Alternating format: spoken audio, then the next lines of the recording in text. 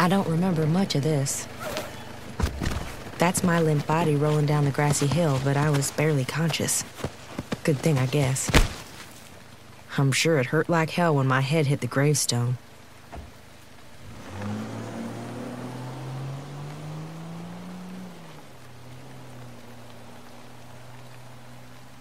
Truth is, I'm pretty sure I died.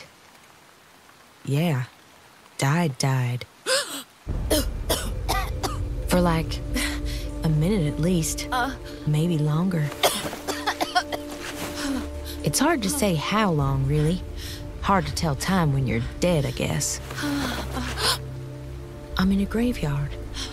I see above ground tombs, ornate headstones, statues.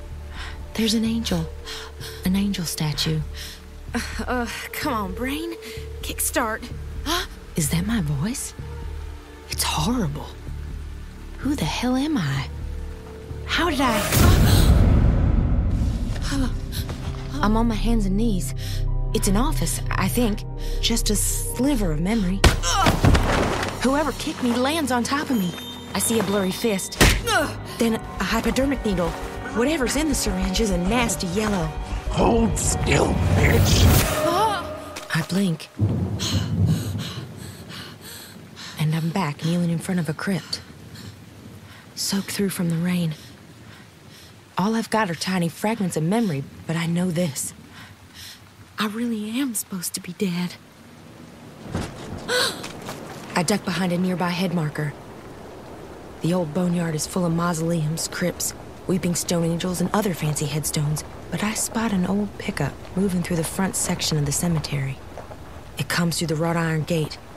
Above the gate, letters reversed, I can read the words Dunhill Cemetery.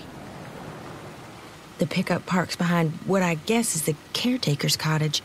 It parks between the cottage and a big shed. Whoever left me for dead, I don't think it was this guy. He's like maybe in his 50s, with a small pot belly and a thin beard. He looks kind of sad carrying his lone paper grocery bag up to the back door. Some kind of caretaker or something.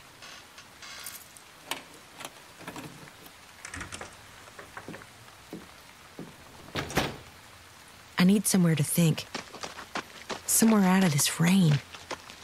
This part of the cemetery seems older. There are a bunch of old crypts, and I try to open the granite door of one.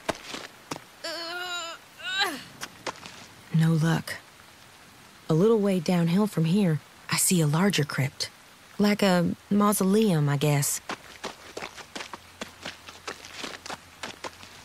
It looks really old.